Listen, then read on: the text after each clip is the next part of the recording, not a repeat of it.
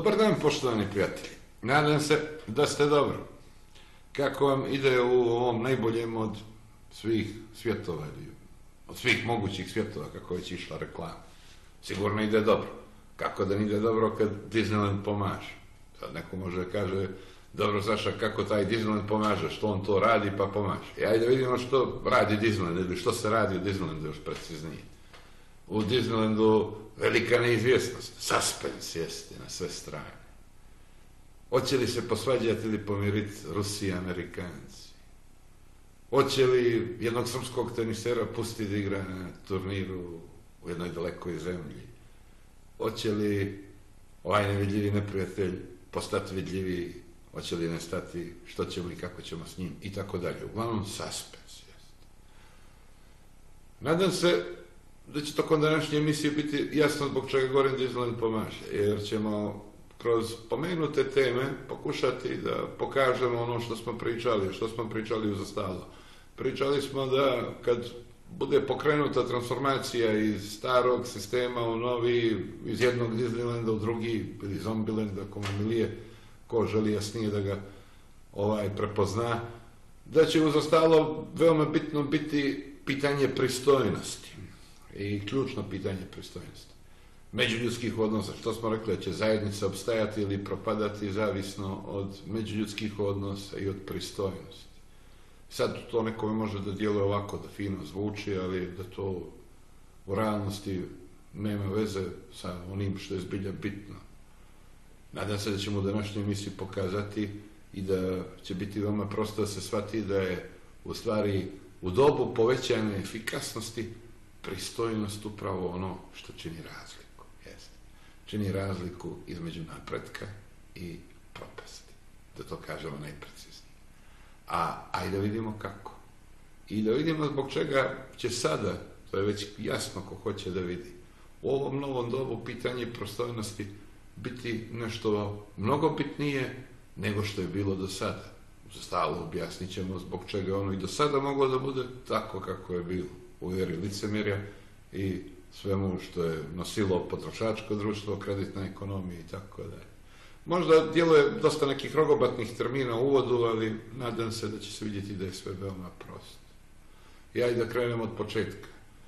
Što će se desiti u pregovorima između Sjedinjenih američkih država i Rusije? Jedni prijete da drugi ucijenjuju i obratno. Da li je pristojno da se prijeti ili, ili da se ocjenjuje, procijenite sami. Na što je već ko naviko ili nije naviko. I da li će se ovdje na kraju pokazati pristojnost i što treba da bude pristojnost? Pa vidjet ćemo, dragi prijatelji. Može lako se desi da neko kaže da ovaj drugi nije pristojan. Pa da kaže, obzirom da nisi pristojan, imam pravo da, na primjer, opalim šamar. Ali eto, pošto ste dogovorili da nećemo paliti tebi, mi ćemo paliti nekome drugome, nekom tvom rođaku, daljem ili bližem, ili tek poznaniku i prijatelju. I na kraju će sve biti pristojno, jel tako, bit će pristojno. Ili da vidimo dosadašnji Disneyland do čega je doveo pristojnost, pa da vidimo kako sad stoji s pristojnosti. Da li je pristojno da vi odete u neku daleku zemlju, vi kažete ja ću ovdje sad da razvaljujem brda i doline, da sipam stotine, hiljade i milijone litara i hektolitara raznog otrova po vašoj zemlji. Da li je to pristojno? Pa u načelu nije pristojno. Nije pristojno.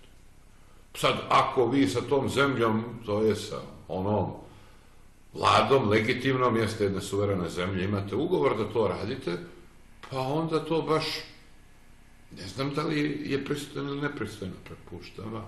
Preko ako ste se vi dogovorili i ako je tamo neko ko suvereno odlučuje i legitimno što na toj teritoriji da se radi.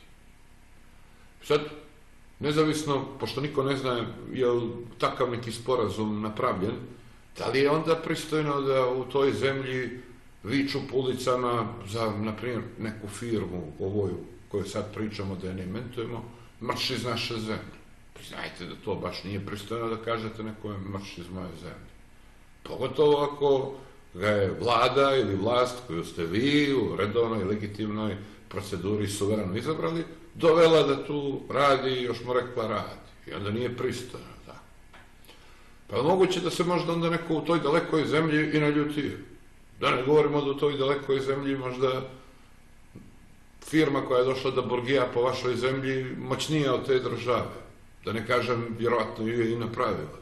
I sad oni kažu, vidi, vi ste tamo nepristojni. Sad kad su oni nepristojni, što mi da puštamo da, na primjer, neki njihov dođe ovdje kod nas nešto radi ili igra i uzme neke pare? Ne može. Zvali smo ga. nema veze i nas su zvali. Ja, dragi prijatelji, ne kažem da je bilo što od ovoga što sada pričam međusobno povez. Ali sad vidite da li nije. Ne, ja, dragi prijatelji, pričam o pristojnosti. Gdje je to, gdje prestaje pristojnost? Koji potez, koga, kakav, prestaje pristojnost? Ili ajmo na, na primjer, priču o ratu. Makar to bio rat ovaj, sa nekim nevidljivim neprijateljem, nepoznatim. I sad, u cilju da se čovječanstvo koliko toliko pristoji, da se malo vratimo, došlo se do toga da se potpisuju određene konvencije, uključujući konvenciju ratovanja. Jeste. Ili sad računate da ćete čak i u tom stanju, kad svako svakome gleda da razbije glavu što efikasnije, evo dolazimo polako do efikasnosti, ovaj ipak naći ovaj neku mjeru pristojnosti da ljudi i narodi ne rade neke stvari. I to zbilja fino zvuči. Sad, koliko ko u praksi se toga predržavao, to sad prepuštam svakome da o tome izvlači zaključak i o konsekvencama nepridržavanja ili pridržavanja. I sad, dragi prijatelji, da li bi bilo pristojno da se, na primjer, i u ratu s nevidljivim neprijateljem također kaže, e, pošto je ovo rat, i ovdje treba vidjeti da nema nekih ratnih zločina. Da vidimo kako, na primjer, mogu da se klasifikuju i proglasimo što je ratni zločin u ovaj ratu protiv, na primjer, nevidljivog neprijatelja. Da li je ratni zločin da vi prepadate i zastrašujete narod, ćerate ga da nešto radi ili mu ne date da nešto radi, bez valjanih ili potpunih informacija razloga ili tek onako što imate predosjećaj da je nešto ovako ili onako ili može da bude ovako ili onako. Na osnovu čega vi možete dotičete na tuđe sudbine, na tuđe živote, na tuđe zdravlje, ako zbilja niste u pravu ili jeste u pravu. I ovdje se također nameće pitanje Šta je ovdje pristojno, dragi I e sad, nemojte misliti da ja ovo sve pričam i spominjem pristojnost i sve ove stvari koje sam spomenuo, spominjem kako spominjem, tek pristojnosti. Ma je, jest ima i toga, da odmah kažem. Ja se trudim koliko je moguće, ne znam koliko spijem, budem pristojan. Ovaj, nego, dragi prijatelji, da se shvati zbog čega je ta pristojnost bitna. I to ne sad zbog neke poetske, pravde ili nekih ideala, nego zbog razumijevanja i dosadašnjeg i budućeg vremena. Jer ovo doba koje je tu, doba povećane efikasnosti, dragi prijatelji, je upravo doba pristojnosti. Samo treba stvari postaviti na pravo mjesto.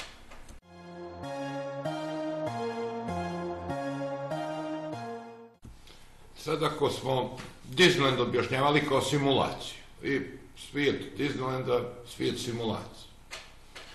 Što to znači, dragi prijatelji? Pa to znači da su oni koji su u njemu i koji se premili na njega simulatori, jel tako? Učestvuju u simulaciji.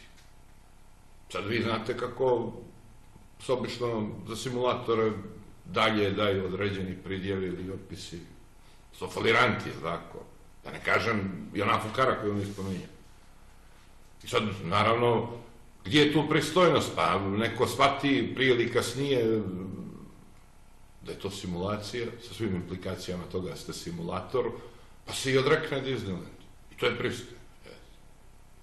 Međutim, ako se niko ne odriče Disneylanda, onda i to znači nešto, već ispomenute jednačine, nadam se da je jasno. I da se vidi zbog čega smo mi pričali stalno da je ovo dosadašnja konstrukcija življenja, života, gledajte ovo lokalno, globalno, kako god do čega je dovela potrošačka ekonomija, kreditna, kreditni monetarni sistem i tako dalje. Pa je doveo do one, kako smo to nečiće govorili, razmažane i raspuštane, neće smo govorili fukare, sad možete potrebiti nešto drugo Jer jednostavno moglo se i nije se moralo biti pristojno. Je li pristojno da vi potrošite više nego što imate? Nije. Ako vi možete dobijete kredit, a kakav problem? Da. Pa je li pristojno da vi, na primjer, ako vodite neku zajednicu, ne znate što ćete s ljudima? Možete da ih organizujete kako valja. Znači, efikasno. Dolazimo polako mi do neefikasnosti. Vidite kako je prosto. Ovaj, ne, ajde izmisli neke poslove. Možemo mi to da platimo? Pa ne možemo. Daj, uzet ćemo opet kredit. Ona brojajmo sve da se shvati značaj ovakve konstrukcije, pa vi sad razmislite što sve ona ovaj lomi u konstrukciji dosadašnjeg svijeta, kad, ako bi neko eventualno, a vi sad vidite hoće li neće, pričamo o tome stalno, ukinuo tu kreditnu ekonomiju. Yes. I treba nam nešto. Imate li da platite? Nemamo. A uzet ćemo kredit. I riješen problem. I znate u svijetu u kojem se problemi lako rešavaju, onda je na kraju sve pristojno. Manje više. Vi sad možete i napraviti neke spektakle ili predstave u kojem se ovaj, onako daju umjetnički doživljaj i dojam što je i ko je pristojan ili nije pristojan, tek da bi predstave bile interesantnije. Međutim, suštinski vi sve odnose možete postaviti da oni u svojoj suštini, u, svojoj, u svom fundamentu, u postavci stvari nisu pristojni. Ko će platiti ovo? Neko drugi ili neko posao. Ko će da riješi ovaj problem? Neko drugi i tako dalje. I Ovdje je razlog, dragi prijatelji, zašto bi ovaj dosadašnji sistem bio uspješan. Jer vi jednostavno nudite sva rešenja, makar to značilo da će i riješiti neko drugi, makar onaj ko da kredit, ovaj, i ukidate odgovornost za bilo koji propust ili kršenje bilo kojeg načela. Mi sad ne vraćamo zbog čega je bio neophodan postmodernizam. Nemam ja lično ništa protiv postmodernizma, nego objašnjavam zašto su ga ubacili u ovu čuvar. I što je pristojno? Sve je pristojno. Tamo gdje je nešto sve, to znači da je ono ništa ili da ga nema. Po svim pitanjima, a pogotovo po ovom. Ne. Da li po bilo kojem pitanju imate jasno i principijalno definisano pitanje što je pristojno. Ili imate samo izgovore koji nas vraćaju u onu staru priču koju smo notirali prije neki dan, što je starije, kokoška ili jaje, pa će to što ja mislim se ti nepristojan, meni dati izgovor da ja ne budem pristojan i tako ćemo zajedno na kraju napraviti najbolji od svih mogućih svijeta. I super, odlično, to je bilo do sada. E sad, u fazi povećane efikasnosti, da se sad ne vraćamo i objašnjavamo zbog čega sad neko, onaj arhitekta s druge strane ili kogo daje, mora da poveća efikasnost sistema. E, fali ovoga ili hoće štedi ili već spašava što hoće i povećava se efikasnost. I vi sad, dragi prijatelji, kad ulazite u ovakvu postavku stvari koja mora biti efikasnija, vi više nemate mogućnosti vremena ni želje da trpite da kažemo najprostije narodske, namjerno onako pričam, krivi. Jer vama treba pravi i najkraći put do postizanja određenog cilja. Što spomenu u uvodu za rat. Treba najefikasniji način kako da razbijete glavu novim preko puta. I najefikasniji način do tačke A stignete na tačku B. Da s ovog stanja dođete na neko novo stanje. I sad, ako je vama primarna efikasnost, da li ćete vi sad pustiti da vam tu na svakom koraku neko zaživa? E, ja ovo nisam baš najbolje shvatio. Pa dobro, majstore, što još treba da ti se objasni? Pa se pojavi drugi majstor koji isto nije shvatio. I sad, nije problem ako neko nije shvatio i nije problem ako neko stalno postavlja pitanja, ako su to zbilja pitanja či, koja vuku za sobom povećanu i dodatnu efikasnost određenog problema ili sistema. Međutim, sto pitanja koja su samo izgovori da bi neko vatao krivine, probao nešto da izbjegne i čekao da neko drugi nešto za njegu radi, pa vi onda izgubiste efikasnost. I veoma je prosto na ovom mjestu da se vratimo na ovo što rekao da smo pričali godinama. Što će biti faktor koji će održavati i štititi ili naravno s druge strane do kraja dokustrivati zajednicu. To će biti međuljudski odnos. I u prvom redu pitanje pristojnosti. Koliko smo se mi dobro i ovaj jasno sporazumjeli i koliko smo mi pristojni da to što smo se sporazumjeli mi sprovodimo. Jer ako mi krenemo da se na svakom koraku oko nekog pitanja ovaj, nanovo dogovaramo, mi nećemo stići nigdje. U svakoj varijanti stićemo, prećemo mnogo kraći put i vrlo vjerojatno nećemo stići do cilja u odnosu na one koji su efikasniji. A ko može da bude efikasniji? Pa onaj ko napravi bolji format. A ne zbog poetske pravde, nego zbog efikasnosti. Bolji format podrazumijeva pristojnost. Jer ukoliko nema pristojnosti, vi ćete na brojnim koracima gubiti ovaj vrijeme, gubit ćete efikasnost ovaj u objašnjavanjima, pregovaranjima i tako dalje. Na kraju i svađa koji će vas vraćati unazad. I ovdje se sada rešava pitanje opstanka. Može djelovati pretjerano. Međutim, da kažem, s potpunom dozom sigurnosti, iako to ništa ne mora nikome da znači, apsolutno, da će upravo ovo pitanje definisati budućnost svakog zajednice i svakog pojedinca na ovom igralištu iza mene. Da budemo mi tu još objektivni, ono ga je definisalo i sada. Međutim, sad je tu bio onaj jastuk, onaj padobran koji je omogućavao, kako su govorili, everything's go. Sve prolazi, sve ide dalje. I naravno da se vratimo, zašto onome ko vodi sistem trebao takav sistem? Pa upravo, dragi prijatelji, da kod svih spusti onaj nivo efikasnosti. Kako ćete to najbolje uraditi? Pa uz ostalo što ćete uništiti pristojnost. I ako ste vi svima spustili taj nivo efikasnosti, naravno ste ih vi doveli onda u stanje gdje su oni nemoćni. Jer oni više nemaju ni potrebe, to jest nisu imali potrebe da budu efikasni po bilo čemu.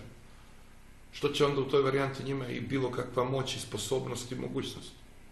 I onako će sve da riješi neko drugo. Šta će to njima? Ovaj, makar nije na nivou pristojnosti da ih je sramota što sve neko radi za njih. Ne, super. I ga radi opet, i opet, i opet. I ove godine, i naredne će, i naredne će. Daj onaj deficit i daj sve ono što već fali. I onda kad neko sve to ukine, dragi prijatelji, pa onda dolazi tu zonu da će moći da idu, da će moći da se kreće, a ovo gledajte u bilo kojem značenju prenesenom do najdirektnijeg, da li će moći neko da se kreće i iz kuće, kao što vidite, samo onaj koji je dobro organizovan, koji je napravio pristojan organizacijani format i u kojem se tog formata zarad efikasnosti pristojno svi drži. Makar oni koji treba, koji su predviđeni ili koji su pozvani. I ovo će da bude razdjelnica. Gdje će vama sada zajednice koju tu efikasnost i pristojnost imaju ili mogu da je uspostave ići nekako dalje i spašavati svijet, planetu i klimu već manje ili više, a one u kojima ne postoji ta efikasnost, što budite sigurni u prvom redu, ne postoji pristojnost koja onda urušava kompletnu efikasnost, zaključno budite sigurni ne postoji ni međuljudski odnosi, ovaj, a oni će završiti taman tamo gdje im je onaj arhitekta s druge strane namijenio. I kako god kome ovo zvučava, da vam ja kažem, iako to kome ne mora ništa znači, niti obavezuje, pravedno je. Jest. Ne zvuči baš ovako umiljato, ne zvuči slatko kao razne ovaj, priče i pričice u Disneylandu, ali vi dobro razmislite da li je pravedno. I dobro razmislite da ovu priču sa nivoa zajednice spustim mi ili podignem, što je vjerojatno ispravnije, na još bitniji nivo, a to je pojedinačno kretanje kroz vrijeme i prostor. I nažalost ili na sreću procijeniti sami koliko i u vlastitom neposrednom okruženju, o kome god da se radi, o čemu god da se radi, u uslovima kada se svih strana sve zateže i postaje komplikovanije, možete da trpite se neko pravi ples. A fata krivin. Da ne razumije što mu kažete ili što ste mu napisali. Ili da ne poštuje što ste se dogovorili. I sad razmislite koliko to doprinosi efikasnosti, rezultatu bilo kojem u bilo čemu. I razmislite ako je ovo zbilja to doba povećane efikasnosti, koja ima tendenciju ubrzanja, ima logiku, rekli smo, ubrzanja, jer povećana efikasnost znači da će u narednom koraku morati da bude još efikasnije. Ovdje da napomenem još jednu stvar, bilo da se o ovome razmišlja i priča na individualnom nivou, bilo neke zajednice kolektiva, ili svijeta.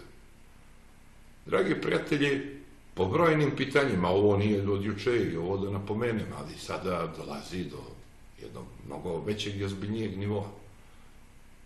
Uvijek ste vi u nekom takmičenju. Na kraju uvijek ste vi u nekom takmičenju s nekom mašinom ili nekim sistemom mašina. Evo, pričamo inače o mnogim stvarima i objašnjavamo ih u kontekstu industrijske civilizacije koja traje. I sad je ona došla do toliko sofisticiranih mašina koje više same sve rade, ne mora niko ništa ni da im kaže. Da to kažemo najprostije, radi razumijevanja konteksta. Ali tačno, ništa nisam pogrešno rekao. Ovaj, I sad zamislite efikasnost jednog takvog stroja, uređaja, mašine, koji zna što da radi. I radi. Na bilo koju temu. Ali mislite sad s druge strane organizaciju gdje na svakom koraku neko fata krivine, traži objašnjenja ovaj, ili već iskače iz sistema koji je predviđen da obezbijedi onu efikasnost i koju vi onda efikasnost imate. Šta je, po mom mišljenju, veoma bitno? I ova se priča kompletno može još prostije ispričati. Šta je uradio dosadašnji Disneyland? Dosadašnji Disneyland je, dragi prijatelji, nažalost, sve pretvorio u zabav. Sad, da me ne shvatite pogrešno, prijatelji i ljudi koji me znaju, znaju se uvijek za zabav, jesu. Međutim, vi, dragi prijatelji, morate imati jasnu distinkciju što je zabava, a što je ono gdje je potrebna efikasnost. Naravno, i zabava može biti efikasna, slažem se. Međutim, ono što treba da da neki rezultat, ono što treba da nešto posli ili završi ili stvori neku novu vrijednost, nebitno već za koga, to je naravno bitna efikasnost. I naravno da vi ne možete parametre zabave koristiti u ovom drugom svijetu gdje je bitna efikasnost. Jer vi kad se zabavljate možete budete neefikasni. Međutim, tamo gdje je bitnost efikasni, vi ne smijete spuštati nivo efikasnost. I šta je uradio do sadašnji Disneyland? On je pretvorio sve u zabav. Od organizovanja zajednice, od vođenja zajednice, od toga da je relativizao kakvi su rezultati te zajednice. Nije problem ako su loši, nije problem ako su nedovoljni. I on je stvorio što je već stvorio. Kako smo to najčešće opisivali, da ponovim još jednom? Pa stvorio je neozbiljnu, razmaženu fukar. I uglavnom nema spitano, razmisliti sami da li griješi. Da to im treba ona era licemir. Jer s erom licemira i svaki postupak možete prikazati i da je pristojan i da je kako treba. Sad, ko je taj ko odlučuje što je pristojnost i ko je taj ko može da uzme mandat i da kaže ovo je pristojno, sad to nas vraća malo i na poredak i na tradiciju, međutim, to nas, dragi prijatelji, vraća na efikasnost. Pa vi sad razmislite šta je u stvari ono što daje argument da li je nešto pristojno ili nije pristojno. Onaj arhitekt s druge strane do sad je vodio, to jest napravio i vodio sistem u kojem mu je ta efikasnost bila primarno u onom dijelu da stvara neefikasno. Sad je samo promijenio par parametara u postavci funkcija u kompletnom matriksu i sada će se vidjeti posljedice toga. Možda tih posljedica i ne bude. Možda se odjednom svi naglo pristoje. Možda odjednom svi postanu efikasniji. Možda odjednom svi počnu da vode računa i da brinu rezultatima i posljedicama postupaka činjenja i nečinjenja. Možda. Sad ja znam da ovo već sad izgleda kao neki Disneyland film, ali eto, ostavite jedan promil nade da se možda i to desi. Iako da se sad ne šalimo, jasno vam je koliko će se njih upristojiti i jasno vam je koliko će se njih ovaj, učinjeti efikasniji. E, zbog toga treba neki suspens i neko pozorište uvijek. I naravno, sve ovo, budite sigurni, dobro, dok ona priča o razotkrivanju onog knjigovodstva, o kojem mi stalno pričamo, ne ispliva u punoj mjeri. E, tada će suspensa i akcije biti mnogo više. Znate onaj arhitekta s druge strane.